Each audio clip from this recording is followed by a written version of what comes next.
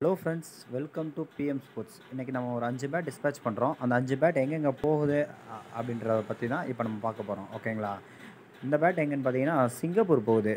சிங்கப்பூரில் நம்ம area customer ஒருத்தவங்க அங்கேருந்து ரெகுலர் கஸ்டமர் தான். அவங்களுக்கு இந்த பேட்டு போகுது. இந்த பேட் எங்கேன்னு பார்த்தீங்கன்னா மகாராஷ்டிரா. மகாராஷ்டிரானா அவங்க திருநெல்வேலிக்காரங்க மகாராஷ்டிராலே அங்கேயே இதாகிட்டாங்க செட்டில் ஆகிட்டாங்க ஓகேங்களா அவங்களுக்கு இந்த பேட்டு போகுது. எல்லாமே தேர்ட்டி ஃபைவ் செமி அப்பர் தான் ப்ராப்பரான cuts toe guard plus quality grip எல்லாமே வந்துடும் ஓகேங்களா இந்த பேட் எங்கன்னு பார்த்தீங்கன்னா குளித்தலை போகுது ஓகேங்களா குளித்தலை செமியப்பரு அதே தான் இவங்களும் நம்மக்கிட்ட வாங்குகிற ரெகுலர் கஸ்டமர் தான். இந்த பேட்டை எங்கன்னு பார்த்தீங்கன்னா சேலம் போகுது.